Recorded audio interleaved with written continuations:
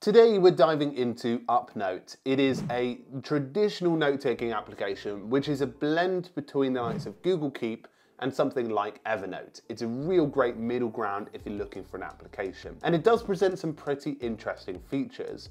Today we're going to give you an overview of how it works, what it is all about, and our opinion on whether this is the note-taking application for you. If you're interested in more note-taking application videos, do subscribe to Keep Productive, and you can check out Tool Finder to dig deeper into note-taking applications that are on the market right now. So without further ado, let's roll into UpNote. UpNote for Mac. And as you can see, it is really well designed. This is something that I would say is slightly not as good as Bear Notes, for example, but definitely does ooze some really nice color ratios and also the way that they present their notebooks. So in this video, we're gonna dive into UpNote and whether it's suitable for you. Now, one of the things you to note is UpNote is fairly simple. As you can see, I can start using basic text to manage stuff and use some of their rich formatting to include images and really enhance the way that you're writing text.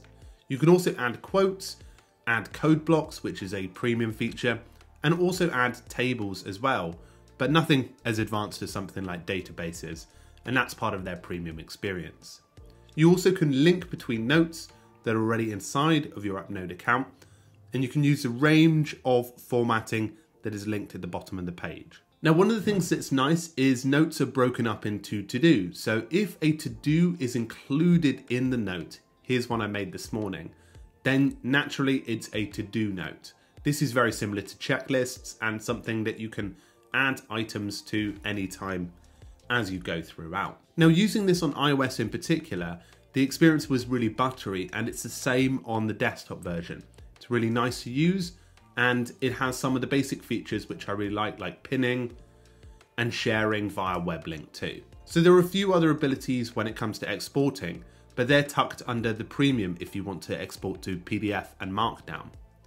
But one of the major things that's really nice about this application is creating notebooks. Notebooks are really nice. You can customize them a little bit more than normal, and you can also lock them as part of your premium experience. Now, as you can see here, there are a few different ranges, and you can even go deeper into what notebook you want it to be part of. So you can see here that I've changed the color on there, and I can click in and naturally organize my notes in the notebook, which is really nice because if you're choosing between Bear Notes and something like this, and that's a deal breaker. Bear Notes has a traditional something called a hashtag organization structure with nested tags, which might be a little bit difficult to get around, but this is much more of a traditional structure. You've also got tags that you can add to any of your notes by typing in hashtag and typing in the tag. Now you can find tags to organize here, so as you can imagine a very traditional layout as part of this. Now you can add files, which are part of the premium experience, and tables, including dates as well for referencing back.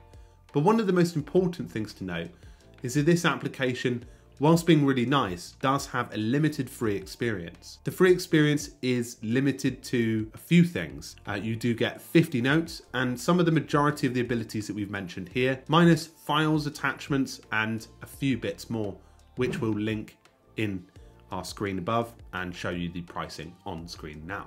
Some of the other smaller things that I liked about this application is the focus mode. This is a really clean way to start focusing on your writing and really get on with the important stuff. I also did like the sharing abilities. Sharing on web is something that you can generate and stop sharing if you did want to.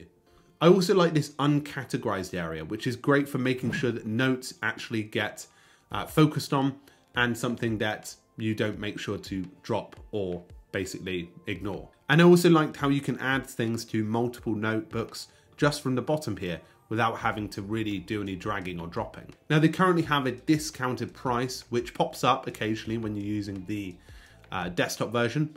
I'm not sure it happens on the mobile version, but I actually found some pretty good uh, experience on the mobile version uh, that is really notable. Uh, the mobile version was very buttery smooth and easy to use. Now this is what the premium plan is. Uh, I think we mentioned it a few moments ago, but you can add tables, code, and attachments, as well as protecting your notes and notebooks, as well as using the more advanced and elegant themes notebook covers as well, as well as exporting too. Now, to be honest, I was pretty impressed by the lifetime pricing that they offer. This is something that in the productivity space, you traditionally know that you're going to have to pay a recurring fee. Even if this was in the range of that price per year, I think that's still pretty reasonable. But you can actually get a lifetime plan, I think even in the US for $29.99, which is pretty good. And that unlocks unlimited notes on all devices. You are limited to 50 notes, which is still good, but of course that would be much more suitable for somebody that has much more static notes that continues to come back to them. Whereas if you are somebody that routinely updates your notes and adds more of them, then that's going to be a little bit tricky. So you can really go into much more detail on the editor as well. Much like Bear Notes, you can modify the typography, editor, style, and things like that. You can even add typewriter mode as well, which is a nice addition. So this experience has been pretty good.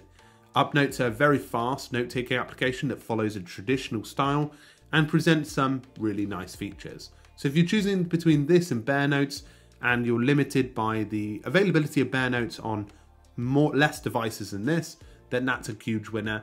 And if you're somebody that likes the structure of notebooks being more like this, that's also a winner for UpNote, for sure. So folks, hopefully you found this video useful. Let us know if you have any questions and feel free to dive into Tool Finder for more reviews and features.